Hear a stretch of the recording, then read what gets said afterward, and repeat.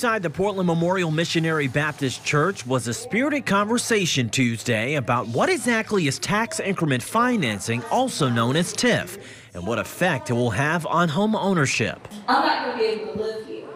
I'm either going to continue to rent or I'm going to have to move elsewhere. A new TIF district would allow the city to divert future property tax revenue to help pay for projects in West Louisville.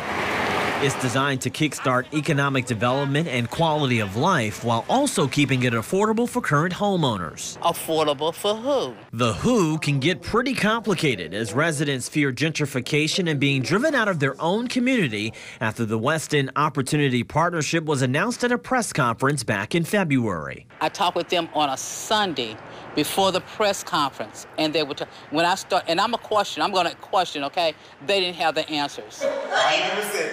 While there are many questions about TIF, the big talker at this meeting was about the property tax freeze, which would allow current homeowners to pay the property tax on their home as of January 2021, and it would not increase for 30 years. While many are skeptical about it, renters say they're worried too. There could be some type of incentive for um, renters to keep affordable housing, but it hasn't really been clear. Here in West Louisville, data shows about 37% of residents are homeowners, but about 60% are renters, and they're wondering how they'll be protected in TIF.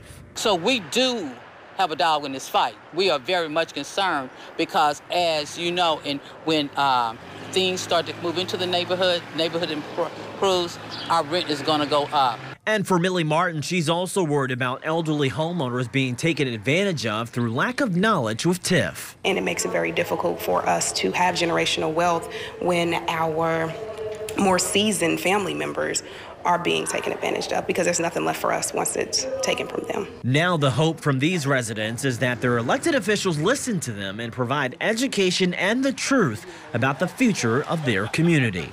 In West Louisville, Stefan Dingle, WLKY News.